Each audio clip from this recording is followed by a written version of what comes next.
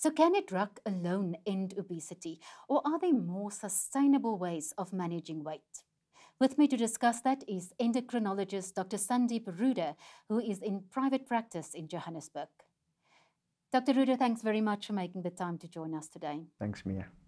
How does the mechanism work? How does this drug get you to lose weight? It will help to reduce um, hunger and increase satiety, that sense of fullness. It tends to lower the thermostat for weight regulation. So a lot of people try and lose weight through lifestyle modification, and they will with consistency and effort, but they reach a threshold whereby they can't get beyond that. This is where the physiology of the body fights back through becoming acclimatized to the old higher weight, you see. So the drug will help you go beyond your threshold for losing weight through consistency in lifestyle as well and set the thermostat down a bit. What happens if you stop taking the drug? When you stop the drug, the weight goes up again. So generally it's shown that it goes up, but we don't have long-term data on follow-up of those patients. Certainly if you um, stop the drug, there's going to be some weight gain. In addition to semaglutide, there's another drug that you can use that is registered in South Africa. Tell us a little bit about that and side effects. Uh, semaglutide is not registered for weight loss in South Africa. It is not registered as an obesity. The version available in South Africa is registered for the treatment of type 2 diabetes. The approved drug is its predecessor called liraglutide. Uh, the dosage is given as a daily dose as opposed to a weekly dose. And weight loss is in the region of, you know, 8 to 10% over a period of a year. Side effects in this class are standardized and we know them. The most common are gastric side effects.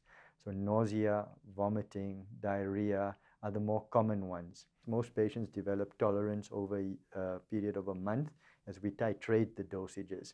But the side effects with the newer ones, semaglutide, are slightly more in the gastric space, but you also develop tolerance if you do it slowly and properly. And then there is in the package insert an allusion to uh, gallbladder issues like gallstones, though they're quite rare. Pancreatitis has been stated.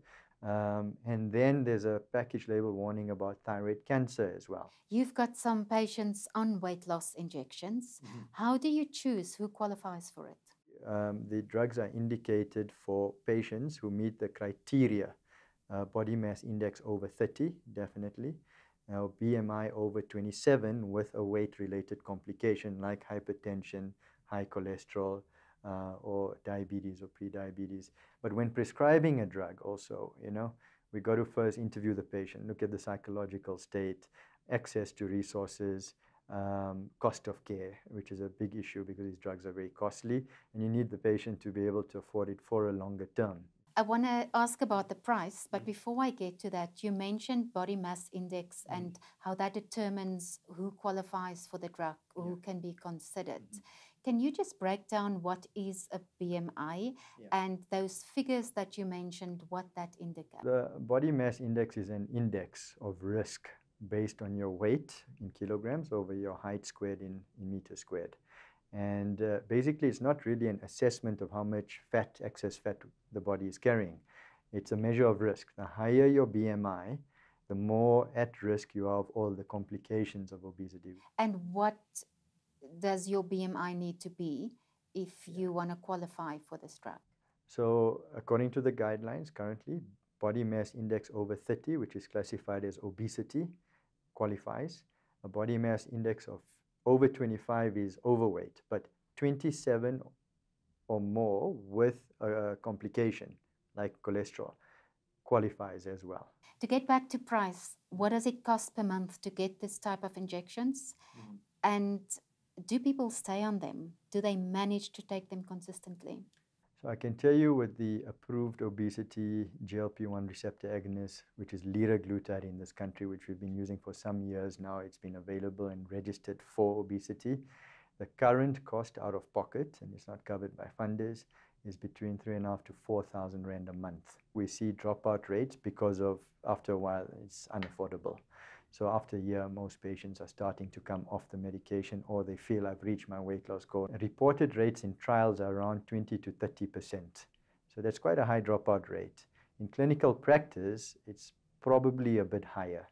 patients get a bit tired of the nausea uh, if they haven't acclimatized to it.